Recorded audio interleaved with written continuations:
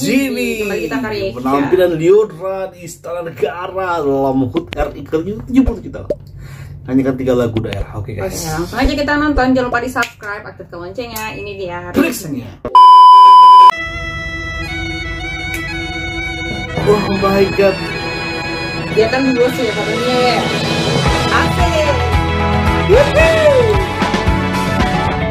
Ya. Kasih musiknya loh. Musik daerahnya.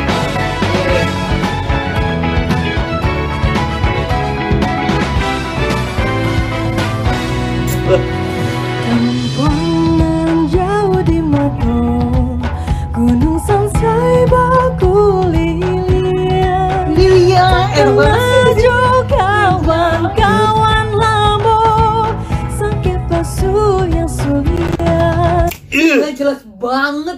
sih artikulasi dia bicara. Eh bicara dia. Bernyanyi. Gak liang. Kalau kita kan ya liang gitu kan. Gak jelas kalau dia Ini- liang. Ah, Eh, lagu daerah Karo ya? Batak Karo ya? Aduh, takutnya salah. Tapi eh, ini kayaknya Aku agak kurang dengan lagu nasional. sama sih. Ini kayak rutin banget guys ya, ditampil di Istana Negara ya. Yes. Dalam setiap momen, setahu aku memang yang pas berkibarlah bendera negeriku itu gila sih. Tapi ternyata ada yang ada yang sebelumnya sayang ya, yang ke 71 tahun. Dan itu dia sebelum ikut idol ternyata masih kecil. Udah atau belum sayang? Belum dong. Ke 71 Belum. Belum ya? Belum. Oh berarti dari ini sering di sini nih. Langganan banget sih. Langganan lu. Itu lah kalau kita fokus dengan prestasi prestasi prestasi akhirnya kayak gini. dipakai. Bukan hanya dengan prestasi, prestasi.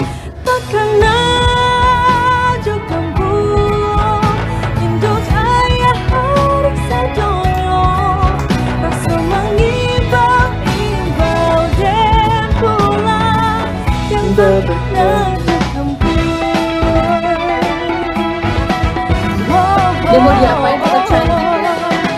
Peluknya ah.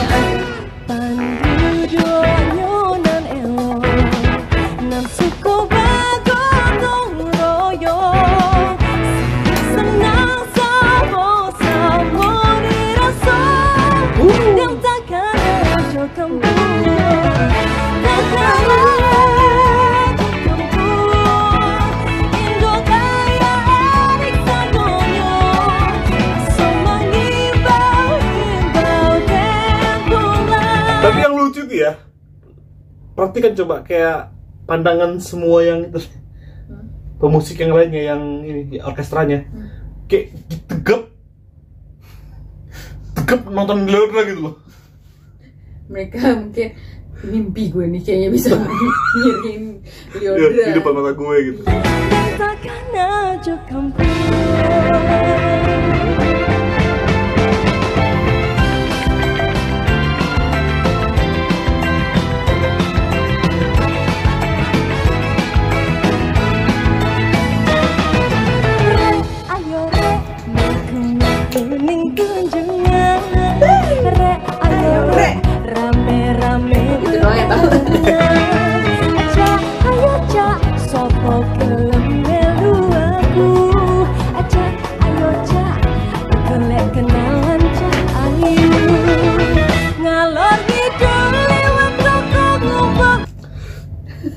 Ini kayaknya jadi hal yang baru sebenarnya kalau kita perhatikannya. Dua tahun belakangan kan secara virtual kan, Iya, karena Iya kan kan? pandemi kan. pandemi. Dan ih, udah mulai kembali. Tahun lalu nggak salah Unmesh sempet sih, tapi Iya ada Unmesh ada kan? Unmesh, Tahun lalu atau dua tahun lalu ya? Iya. Anet ya kan. Betul. Tapi eh hype-nya tuh ini kayak hidup banget sih asli. Tahun ini ya sayangnya. Mm-mm. Ada munculnya si Farel Frayoga, Iya. Liodra juga tampil untuk dengan tiga lagu yang tiga lagu daerah yang sebenarnya dia dari Bat, dia dari Karo kan dan dia dengan kualitasnya dia dia wajib bisa mengeksekusi di banyak lagu. Ini re ayo re ini lagu Jawa ya. Iya ya tak ya. Emang Jawa harus oo semua ya. Re ayo re melaku melaku iya di Jawa saya.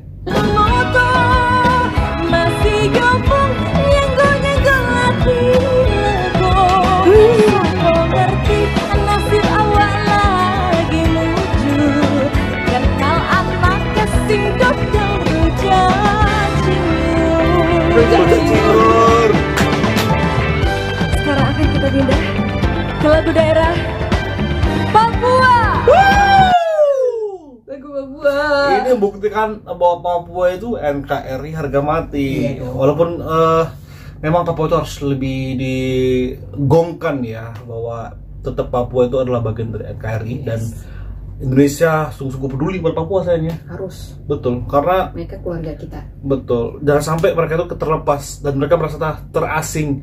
Karena mereka itu wajib dapat uluran tangan dan lewat Pak Jokowi juga hadir sebenarnya dalam pembangunan-pembangunan Oh, banyak. Maka Eh, Pak Jokowi sangat di lulu kan Cintai. dicintai oleh rakyat Papua. Iya. Cuma tetap ya ada kepentingan kan yang ada di sana kan. Ya mereka tetap ingin Papua merdeka.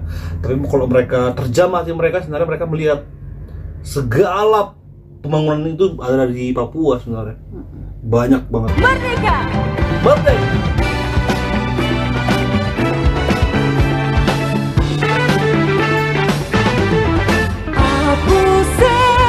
poco.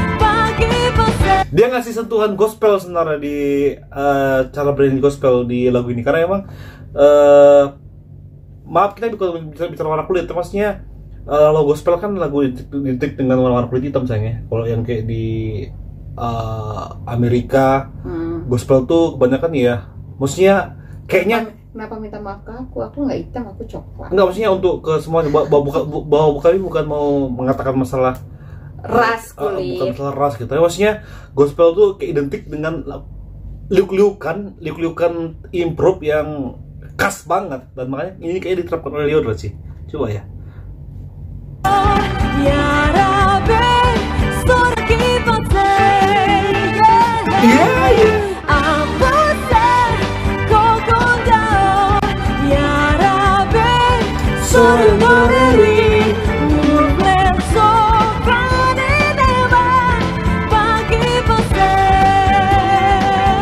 sabia.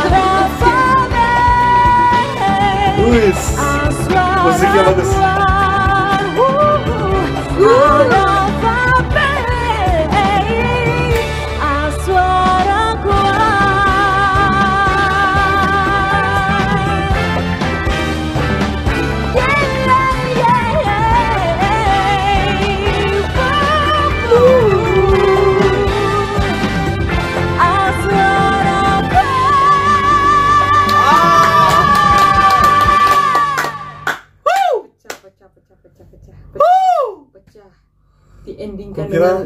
Dengan suara yang uh, Iya, nyampe loh di, di part itu loh. Itu tinggi banget soalnya. Leodra, bangga sih kami kayak kasih siang ngedolain kamu deh, asli. Idola ini idola banget sih kami. Makanya kami konsisten banget untuk meriak. Kalau ada apa aja yang baru tentang Leodra kami usahakan. usahakan dia wajib diri Oke deh, semoga teman-teman juga Huh. suka dengan reaction kita kali ini. Jangan lupa untuk di like, comment, and share. Jangan lupa di subscribe, aktifkan loncengnya. Terima kasih. Bye!